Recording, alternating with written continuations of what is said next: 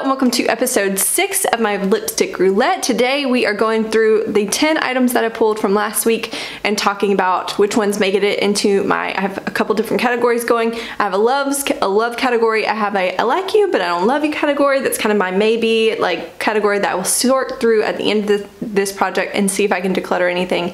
And then I have um, kind of a little declutter pile and I think I have about five items in that so far so I'm, I'm feeling pretty good about that because if you know me, you know I'm not good at letting things go. So let's go ahead and jump into my favorites. I actually, um, as a way to speed this project up, I talk about any other items that, even though I didn't draw them randomly the last week, I did end up using them. So I'm gonna start off with the one item that I did that with this past week. And this is my um, True, or this is True Très Chic from uh, Lorac. It came in the Beauty and the Beast collection. Gorgeous, brown. Um, if you know me, you also know that I love, I'm, I'm just a sucker for brown lipstick and so this one is swatched right here. Um, it's beautiful, kind of poopy brown, but in my opinion, it looks great. I love the formula, super comfortable. I love this thing, and hopefully maybe one day if I can get some of these uh, lipsticks sorted through, I could see myself eventually trying to pan this or like work on it slowly in, in a project pan, so we'll see. That's definitely staying and going in my love category though. The next one is this little High Shine Lip Gloss in, from Ulta Beauty. It does not have a shade name or anything because it came from one of those little gift sets. It's swatched right here and it's nice coral shade. It can sheer out easily enough. I think it's wearable enough and these kind of things I can use up typically in like less than a month. So I think I'm gonna hold on to this color and put it into like a little panning bin and hopefully work on this some point in the future and get it done and get it out of my collection. Next up was my Rosy Tint Lips by Etude House and it's this one here in the middle and yeah this was this one is a very interesting formula. It kind of almost looks like it's going to be kind of dry or matte it kind of dries down that way. Um, but uh, it was a gift from a friend and I actually think it's pretty decently comfortable. I've actually used a good bit too so it takes me a little bit to like I have to squeeze quite a bit to get some color out because this was one that I have used quite a bit in the past. So this one is one that I definitely want to hold on to. A sentimental value and color and formula all seem to be right on par. So definitely keeping that one. Next up, I have Stila's Baci, and again, this is sentimental value here. This one is swatched right here. It's kind of like this cool tone, pinky, mauve nude, and it's very light. I definitely have to wear a lip liner under this to feel more comfortable with it, but um, regardless if it's not the most wearable shade for me, it's something that my husband gave me um, as like my first like makeup gift from him, so I'm definitely gonna hold on to that. And then lastly here, we have Copenhagen from NYX, and this was one that I just, I can't let it go. It is very beautiful shade. The This, I have learned something in this project, that these NYX Lip Matte um, these soft matte lip creams are definitely more comfortable than my Tattoo Junkie lip cream or lip liquid lipsticks. So for that reason, it's not, I mean, I'm still not in love with uh, liquid lipsticks, but this color is very unique. I don't think I have a color like it in like a bullet lipstick form. So for that reason, and the fact that I remember religiously going to Ulta like every week for a little while looking for this shade and for Transylvania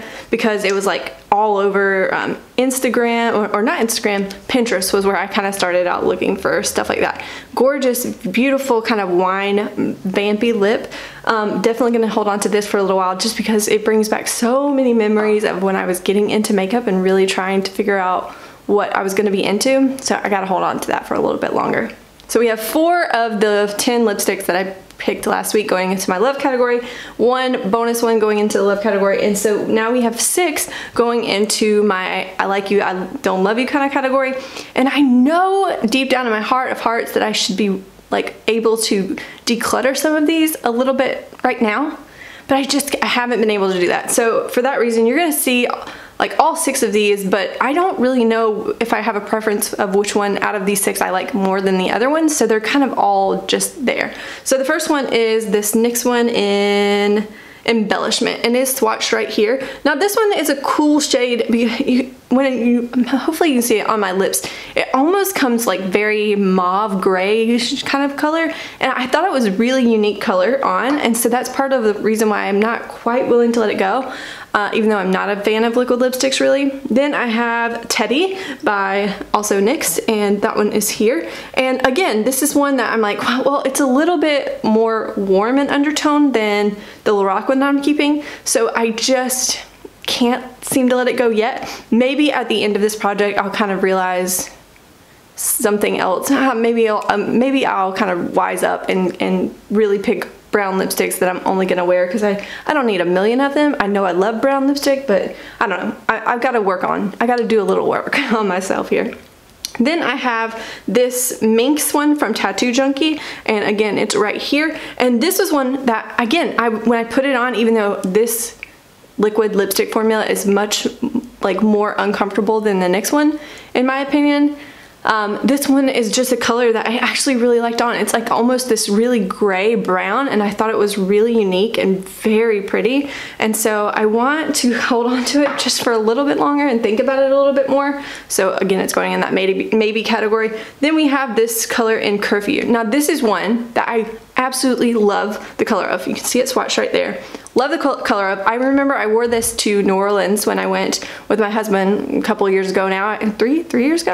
I don't actually remember. And I remember getting so many compliments on this lip color and it is gorgeous. It looks gorgeous. It wears pretty well, like it's not really patchy, but my biggest complaint with this, I don't know what it is about this particular color, but this color in particular, even compared to like this other Minx one, this one is so much more drying than this one. I don't know why that is, but I remember putting it on my lips and just being like, oh my gosh, it's so uncomfortable.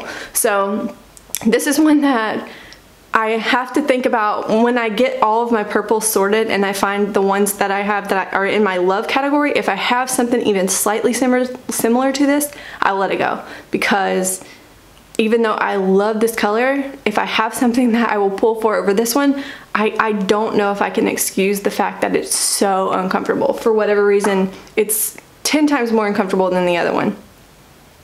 Then I have a NYX Lip Lingerie, and this is in the shade Ruffle Trim, and it is right here. Now, Here's the thing, I will end up decluttering one. I have, um, see all these mini guys? One of these mini guys came in the shade Ruffle Trim and then, but previous to getting that advent calendar, I had this one. I, I purchased this one on my own. And so I haven't made my mind up if I want to keep this big guy or if I want to keep the mini. So at some point one of them will be decluttered because I don't need two of the same color. But for now I'm gonna hold on to this one because I haven't come across the other one in my collection. So for now yeah I'm gonna put this in the maybe category and at some point I'm gonna get rid of the duplicate. I just don't know which one yet. And um, then we move into this last one, and this is a gloss in Shanghai Sizzle from Revlon, and it's gorgeous. Um, very red, very like good. I can sheer it out, or I can kind of wear it to more like opacity. And um, so here's the thing. I do think that at some point during this project too, towards the end, that I think I only have a couple more red glosses, maybe two, maybe, and I'm only gonna keep one red gloss because I know myself I don't wear a glossy red lip that often, but I'm gonna put it in the maybe category just to be able to compare it to the other two. I think I have to. I might not even have to. Um, so yeah, I'm only gonna keep one, but for now this is the first one I've come across, and so it's going in the maybe one until I can compare it to the other red glosses that I have. Okay, I have my bag of lipsticks here. I'm gonna pick 10 new items to work on over this next week, so let's get going.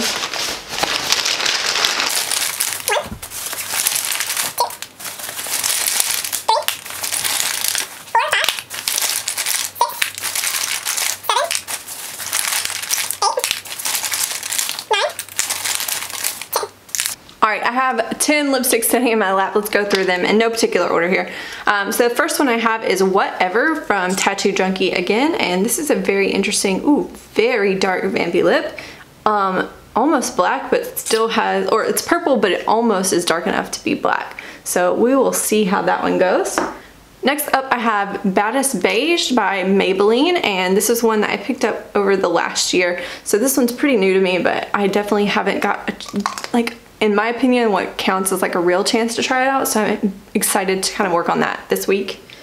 Next up, I have Stila Notte, I think is how you say it. Probably not super duper similar to that Tattoo Junkie one. So it may come down to a battle of which one wears better because I definitely do not need two vampy lips of that similar like kind of shade in my collection. Then I have Bacca from Stila and this is a nice berry lipstick, like a berry tone kind of vampy kind of thing. and that one is gorgeous. I do really like that shade, so I'm excited to wear that. It's kind of like the perfect time to kind of pull those berries during during a fall like this. Then I have a matte lip clean, matte. Then I have a matte lip cream from Ulta. I'm not sure what the shade is, but it's like a really pinky nude shade. Oh wow, this is light yeah, if I can't make that work over a liquid lipstick, that will definitely be decluttered. So there's some hope. Maybe I can let something go this week. Then I have Fig from Bite Beauty. I do like this. Um, uh, of course, I've raved about how much I like this formula. And so yeah, that's a gorgeous color. I'm excited to have that this week. Really nice. Next I have Miami Fever and this one definitely is a little bit more orange leaning than Shanghai Sizzle was. So I actually know that I've worn this one a lot more than I worn Shanghai, worn Shanghai, I've worn this one a lot more than I've worn Shanghai Sizzle. So I'm excited to see this one again and remind myself that I have it. This is very pretty. Next I have Matte Matte Matte 02 in Perfect Match from Essence and it is swatched right here. I also have another Matte Matte Matte 07 in Purple Power and it is swatched right here. Very pretty. I haven't actually worn that shade yet, so I'm excited to try that out this week. And next up I have a matte lipstick from NYX in the shade Nude. And this is one I remember getting in like an eyeshadow, like came with like an eyeshadow and something else, maybe a blush or something, like a little holiday pack and this is that shade there. That's a very bright peachy shade. So we'll see if that one makes the cut this week. Okay, so these are the 10 lipsticks that we're gonna be working on over the next week. Say hello in the comments, wish me luck, and I will see you in the next one. Bye.